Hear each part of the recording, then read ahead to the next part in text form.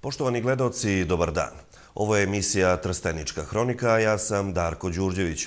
Ovako je izgledala Trstenička opština proteklih dana. Trenutno vodostaj je znatno opao i voda se povukla. Međutim, meteorolozi najavljuju nestabilno vreme i nove padavine u narednim danima, što bi moglo da donese i nove nevolje. Sa ovim u vezi je i vodosnabdevanje Trstenika, kao i voda koju pijemo. I pored porasta vodostaja Zapadne Morave usled obilnih padavina prethodnih dana, građani nemaju razloga za zabrinutost što se kvaliteta vode tiče. Voda u Trsteničkom vodovodu je potpuno ispravna za piće, a bunari i drugi objekti vodosistema maksimalno su zaštićeni od eventualnog plavljenja. Situacija u vodosnabdevanju je potpuno e, stabilna i potrošači zaista ne bi trebali da se brinu o kakav je kvalitet vode. Znači, kvalitet vode se prati, prate se uslovi na izvorištima, tako da u slučaju bilo kakvog poremećaja stanovništvo bi bilo obavešteno na vreme, zaista znači mi bi morali da preduzimamo mere koje su zakonom propisane. E, izvorišta su nam e, u redu, nikakvih problema tamo nema, mi ih i ne očekujemo zaista, e, tako da mislim da će ova poplava da prođe, znači što se tiče kvaliteta vode u Trsteniku, e, potpuno normalno. Analize kvaliteta vode koje se rade svakodnevno u Zavodu za javno zdravlje u Kruševcu pokazuju potpunu bakteriološku i hemijsku ispravnost. Takođe, rezultati kvaliteta vode sa izvorišta su dobri, za razliku od drugih gradova koji nakon poplava imaju problema sa zdravom pijaćom vodom. Pojave koje se dešavaju u drugim gradovima e, su prozrukovane drugim razlozima, zaista, jer imamo situaciju da se e, potapaju cele izvorišta, to je već nešto drugo, znači kada bi, ne daj Bože, to se desilo u Trsteniku, naravno da bi mi reagovali na isti način kako su reagovali tim gradovima, međutim to kod nas nije slučaj i neće biti, jer je Zvezdan ograđen e, bedemom, u celoj, celom dužinom bedema, zaista znači nema, ne, ne postoji način da prodre voda iz Morave uh, u samo izvorište, a Prnjavor apsolutno nije više ni Uh, ugrožen, jer Ljubosinska reka se smirila, tako da je vodosnabdevanje u Trsteniku zaista pod kontrolom. Na seoskom području situacija je nešto drugačija. U Bogdanu su poplavljeni bunari i voda nije za piće, a u Medveđi je iz premetinih razloga isključen jedan od dva bunara, dok se kvalitet vode u Počekovini nije promenio. Zbog izlivanja zapadne morave pod vodom je trenutno oko 300 hektara obradivih površina i plastenika u atarima sela Bogdani i Počekovina, a podizanjem bedema sprečeno je plavljenje oranica u Medveđi i Velikoj Drenovi. Iako voda ugrožava dve kuće, ljudi nisu evakuisani, već je na bezbedno izmeštena samo stoka iz jednog domaćinstva. U svetu se obeležava Dan planete Zemlje. Ujedinjene nacije upozoravaju da moramo investirati u obnovljive izvore energije, obnoviti gradove i početi sa da rešavamo klimatsku krizu. Sa ovim problemima se suočava i naša lokalna zajednica.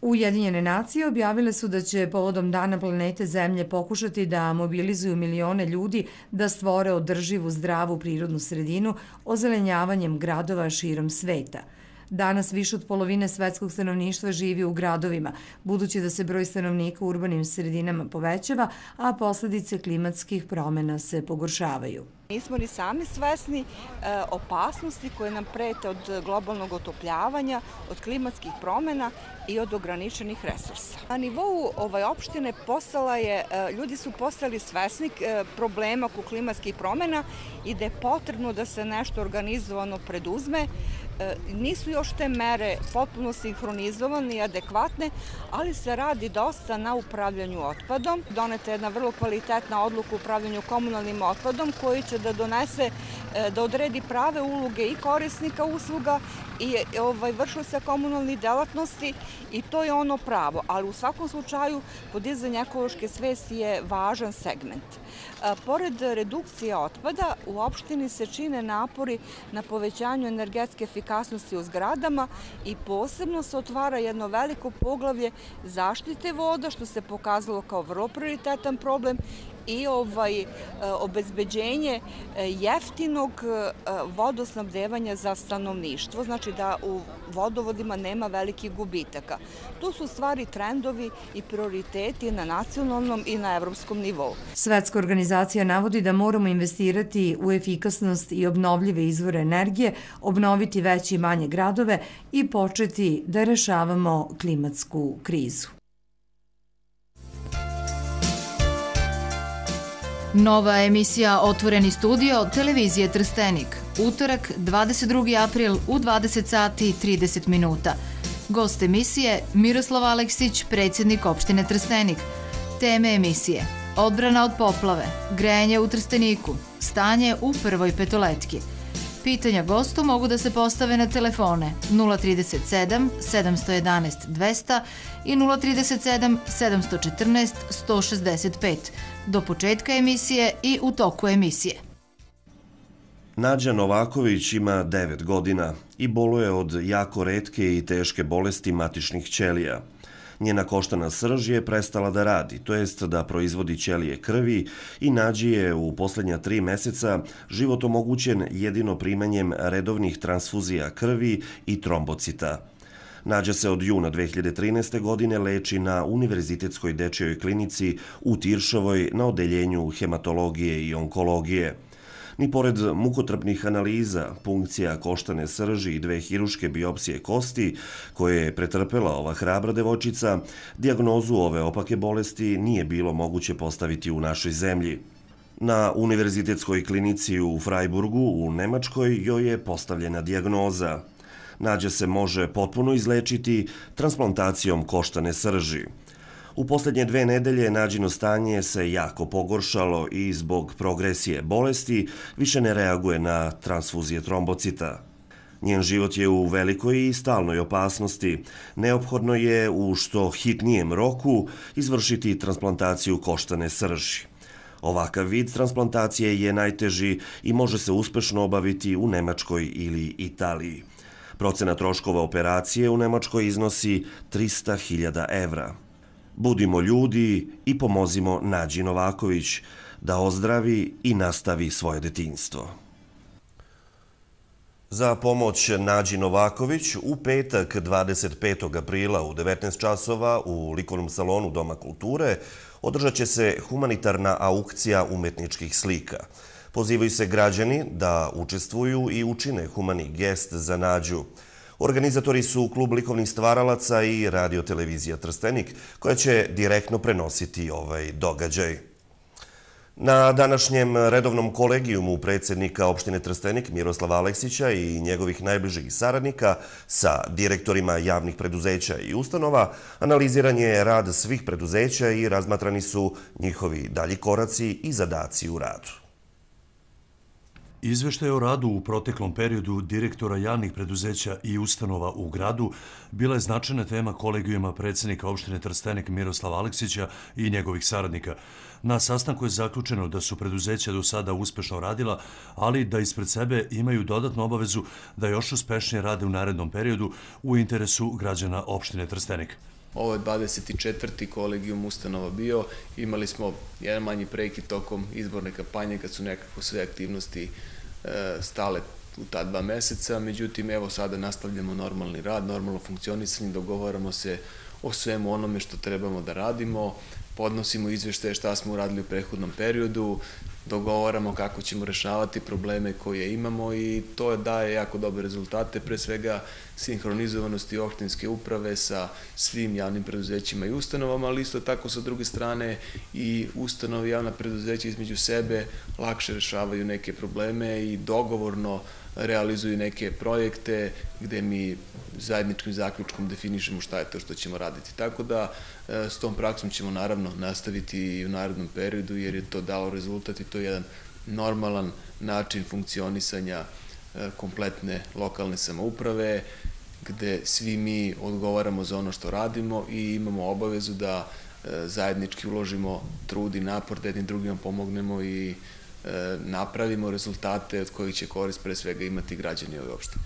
Direktor javnog preduzeća Radio Televizije Trstenik Jovan Marinković je u svom izlaganju istakao da je Radio Televizija Trstenik postigla dogovor sa udruženjem Roma da se u programima ove medijske kuće priprema i emituje jedna radio i televizijska emisija nedeljno na romskom jeziku, čime bi se obezbedilo osnovno pravo Roma da budu informisani i da učestvuju u informisanju. Pored ovoga, direktor Marinković je govorio i o drugim značajnim pitanjima rada ovog informativnog centra opštine Trstenik. Direktori ostalih javnih preduzeća takođe su pojedinačno u svojim oblastima izlagali značajne aktivnosti koje su sproveli i predstavili ozbiljne planove u radu za naredni period. U hramu prepodobnog Romana u Riljcu, u prisustvu velikog broja vernika, njegovo preosveštenstvo, episkop Kruševački gospodin David, služio je u skršnju liturgiju i tom prilikom osveštao živopis u crkvi, koji je urađen zahvaljujući prikupljenim prilozima i donacijama pojedinaca i ustanova u akciji uređenja crkve koju vodi crkveni odbor. U prisustvu velikog broja vernika svetu liturgiju u hramu prepodobnog Romana u Riljcu na treći dan Uskrsa služio je njegovo preosveštenstvo episkop Kruševački gospodin David sa sveštenicima ove eparhije uz spojanje članova crkvenog hora pri crkvi Lazarica u Kruševcu. Tom prilikom episkop Kruševački gospodin David osveštao je novi živopis urađen tokom prošle i ove godine na svodovima i kupoli i na ikonosnosu koji je preskopisao umetnik Đakon Miodrag Tomić. Akciju je vodio crkveni odbor prikupivši za uređenje crkve od brojnih priložnika i donatora oko 20.000 evra, uključujući i pomoć koju je pružila mesna zajednica Riljac. Danas se osveštavaju freske, crkvu smo napravili 67. 69. je završena, to je sve od meštana sela Rilca, evo i sada su isto dobri ljudi dali dobrovoljni prilog i napravili smo, te smo kompletirali celu lepu crkvu našu. Ja mislim da je nema ni u okolini. Po okončanju liturgije, osvećenja živopisa i uskršnjeg pričesta vernika, za sve prisutne na svečanosti u porti hrama prepodobnog Romana u Rilcu priređen je kulturno-umetnički program u izveđenju folklornih ansambala, kulturno-umetničkih društava, zapis i tradicija iz Trstanika i učitelj Momir iz Rilca i uz nastup izvorne muzičke grupe Lejke iz Rilca. Crkva Svetog Romana u Rilcu pripada parohiji Poljna, u njoj se služba obavlja dva puta u mesecu i za praznike. Zahvaljujući stalnoj brizi i akcijama na uređivanju sada je potpuno opremljena i uređena kao duhovno stesište vernika i u svom sastavu ima i izgrađen parohijski dom. Neočekivano velika količina padavina poslednjih e, sedam dana nepovoljno se odražava na useve. Pravo stanje će se znati kad dođe do stabilizacije vremena i kad stručne službe mogu na terenu da pregledaju useve. U zavisnosti od parcele na kojoj su posejane, e, zavisi i koliko su štetu kulture podnele. Neočekivano obilne padavine su zaustavili radov u poljoprivredi. Setva kukuruza se obavljala bez problema do 14. aprila, a već od 15. se sa setvom stalo. Od vremenskih uslova i prestanka padavina zavisi kad će se sa setvom nastaviti. Velika količina vode i spiranja zemljišta i samih biljaka trenutno predstavljaju najveći problem, ali je stanje potpuno različito od parcele do parcele. Kad dođe do stabilizacije vremena, stručnjaci će izaći na teren i znaće se pravo stanje posejenog kukuruza. Tamo gde je seme stradalo, njive poplavljene i gde je došlo do truljenja, morat će da se izvrši presejavanje. Očekuje se da će se na lakšim peskovitim zemljištima od 1. maja nastaviti sa setvom, a na težin koje se teže isušuju nešto kasnije. Inače, kako nam je izjavila savjetodavac za radarstvo Radojka Nikolić iz Poljoprivredno-savjetodavne službe u Kruševcu, stanje pšenice različito i u prvom redu zavisi od gustine posejenog sklopa, sorte koje je sena i primenjene agrotehnike. Kod pregustih useva usled velike količine kiše koja je pala, došlo je do poleganja i može lako doći do pojave bolesti, pogotovo kasnije u fazi klasanja i formiranja zrna. Ministarstvo poljoprivrede je objavilo uredbe za biljnu proizvodnju za dodelu subvencija. U odnosu na prošlu godinu postoji razlika u konkursnim uslovima. Uredbe se odnose na subvencije za regresirano gorivo, za mineralno đubrivo i za 6000 po hektaru posejane površine. Uslov je da je obnovljena registracija gazdinstva i da je ono u aktivnom statusu, odnosno da su nosioci gazdinstva uredno prijavili setvenu strukturu. Za konkurisanje je neophodno da se prilože računi za dizel gorivo ili gasno ulje koje se ovih dana pojavilo na tržištu i da su ovi računi pečatom overeni na nadležnoj pumpi. Maksimalno se subvencioniše 60 litara goriva po hektaru po ceni od 50 dinara po litru, što iznosi maksimalno 3000 dinara za gorivo po hektaru. Poljoprivrednike raduje podatak da je nakon više godina pauze vraćena uredba kojom se subvencioniše mineralno đubrivo i to 10 dinara po kilogramu đubriva, a maksimalno 3000 dinara po hektaru, odnosno priznaje se utrošak od 300 kilograma đubriva po hektaru za sve biljne kulture koje se obrađuju sem za prirodne livade i pašnjake. Svi nosioci poljoprivrednog gazdinstva koji su uredno prijavili ovogodišnju setvenu strukturu predaju nadležnoj službi Trezora zahtev za isplatu 6000 dinara po hektaru posejene površine. Novac će biti uplaćen na tekući račun nosioca poljoprivrednog gazdinstva. U četvrtak, 24. aprila, Dom zdravlja dr. Sava Stanojević obeležava Dan kolektiva. Tim povodom pozivaju se penzioneri ove medicinske ustanove na prijem koji je zakazan za 12 sati u svečanoj sali Doma zdravlja da zajedno obeleže Dan kolektiva.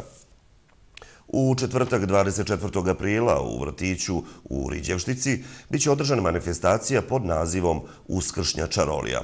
O programu ove manifestacije u emisiji Jutarnji program govorio je vaspitač Ivan Pavlović. Uskršnja čarolija je četvrta godina za redom, postala je manifestacija, e, obuhvata sve preškolske grupe sa terena i centrale. E, organizujemo jedan bogat štand sa uskršnjim korpicama i jajima, e, kulturno-umetnički program i takvičarske aktivnosti. Ko sve učestvuje? Rekli ste predškolske ustanove. Naravno i u saradnji sa osnovnom školom Jovan Jovanović Zmaj i sa njihovim područnim odeljenjima. I da kažemo nešto detaljnije o svim tim dešavanjima. Šta će, u čemu će se sve to mališani takmičiti? Hoće li učešće uzeti i oni nešto stariji? Naravno, e, mališani iz predškolskih grupa prvo će dati jedan prigodan e, kulturno-umetnički program. Tu su i naši e, dragi gosti, gospodin Deljko Popadić, naš veliki beogradski pesnik, E, nosilac Vitez Festa iz Beograda, doći će sa grupom pesnika uveliča naše u manifestaciju. Doći će nam poznati animatori iz Beograda, iz Kruševca, iz Niša i posle tog prigodnog kulturno-umetničkog programa otvorit ćemo sajam. Sajam je u vidu štandova pokrivenih šatorom gde deca sa svojim roditeljima izlažu svoje kreacije na temu Vaskrsa. Tu će poseban žiri odabrati najlepše jaje, najlepšu korpicu i da vidimo ko će da pobedi. Posle tog obilazka sajmova nalaze, stižu nam i takmičarske aktivnosti, vučenje konopca, nošenje jaja u kašici, trke džakovima, poligon prepreka, vaskršnji kros. Da kažemo, u koliko sati e, celokupna manifestacija počinje? Manifestacija počinje u 10 časova, 24. aprila, na terenima osnovne škole Jovan Jovanović Zmaju u Riđevšici. A za sve ljubitelje umetnosti večeras u 19 sati u Galeriji Narodnog univerziteta biće otvorena prolećna izložba kluba likovnih stvaralaca Trstenik.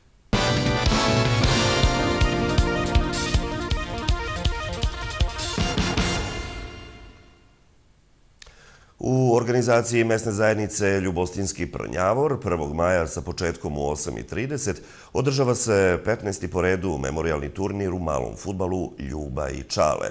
Kotizacija po ekipi je 2000 dinara, a uplate se mogu izvršiti na žiro račun mesne zajednice Ljubostinski prnjavor na dan održavanja turnira.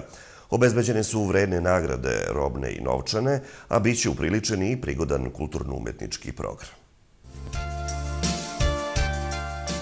Nova emisija Otvoreni studio televizije Trstenik. Utorak, 22. april u 20 sati i 30 minuta. Gost emisije Miroslav Aleksić, predsjednik opštine Trstenik. Teme emisije Odbrana od poplave, grejanje u Trsteniku, stanje u prvoj petoletki. Pitanja gostu mogu da se postave na telefone 037 711 200 i 037 714 165 do početka emisije i u toku emisije.